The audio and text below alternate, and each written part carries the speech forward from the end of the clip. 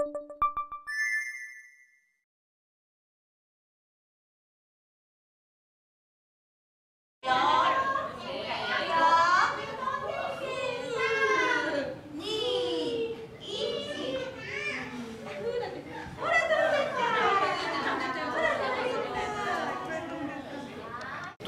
回その福島県中心自治会で、えーと、東日本大震災対策プロジェクトを、え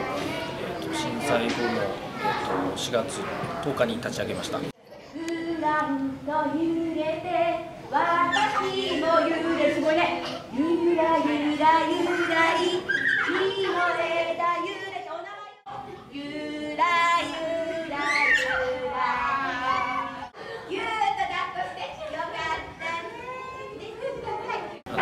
被災地でできるその支援が専門家としてあるんじゃないかということであの立ち上がりました。でそのプロジェクトを始めるにあたってあの日本ユニセフ協会さんがあの支援していただけるということであのいくつかの事業をあの立ち上げて、えー、と支援をしてきています。スタートは昨年の6月の、えー、とリステル猪苗代で、えー、と双葉町の方が避難しているところからスタートしました。保育士さんの力もサポートもお借りして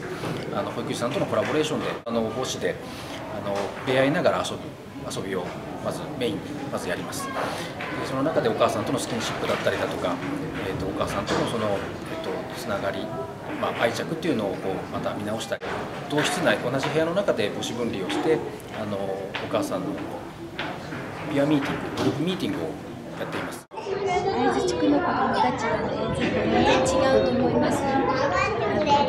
自由に遊べてるっていうかお水はどうしてますかって尋ねた時に川で遊んでるっていう答えがあったのですごく保育士としてはほっとした地区ですよ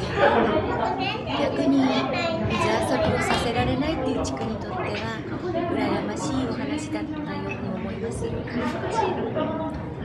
お母様たちも一緒に遊んでるってことで親子の触れ合いもできてるようですしあと